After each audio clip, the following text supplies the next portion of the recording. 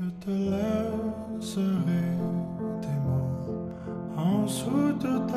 잘 지내라요. 아, 인연이 있으면 또 만나자요.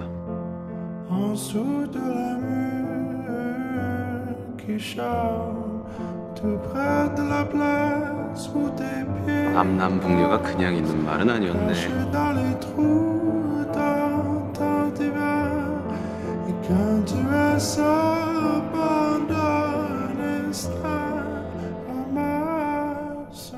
나 서단 씨 좋아요.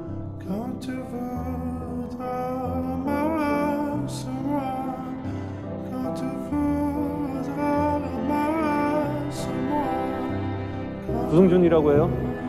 서담입니다. 여자 앞에서는 나도 좀 착한 사람이고 싶다. 좀 멀쩡한 모습으로 서단 씨 찾아오면 나한테 한 번만.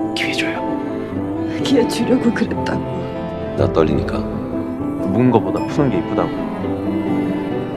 그러려고 그랬단 말이야. 정신 놓지 말고.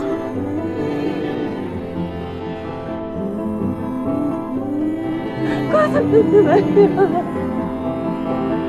좋으니까 이제 어디로 가는지 알고 갈 거야.